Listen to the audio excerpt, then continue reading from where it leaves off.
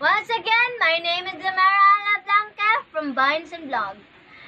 And welcome back to Mr. Universe 2018!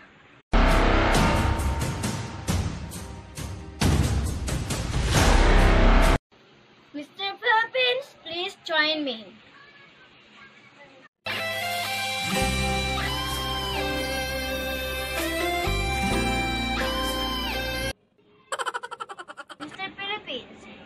Is your first question.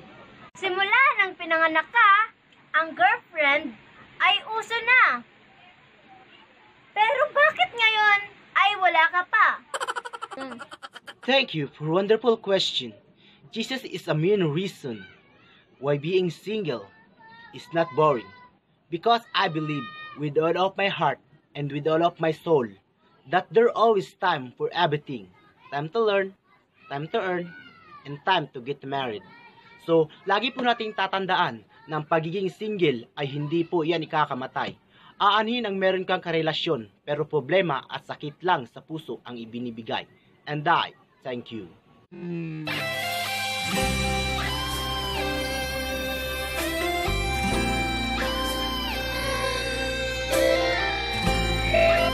Here is your final question. Are you ready? Bakit marami ang gustong makapunta sa langit, pero hindi naman lang makapunta sa simbahan? And speaking of makapunta sa langit, marami ang gustong makapunta, pero bakit takot silang mauna? First, bakit marami ang gustong makapunta sa langit pero hindi man lang makapunta sa simbahan?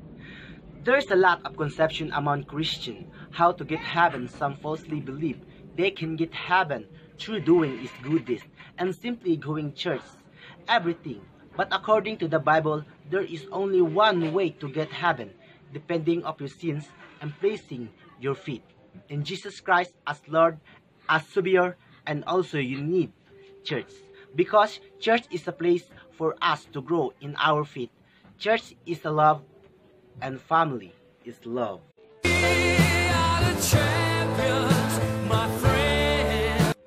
And for the last question, it's talk about deed in being not afraid to fit. We can focus of good sides of life and don't spend time for afraiding of them. The life is very short. Spend your time with Christ.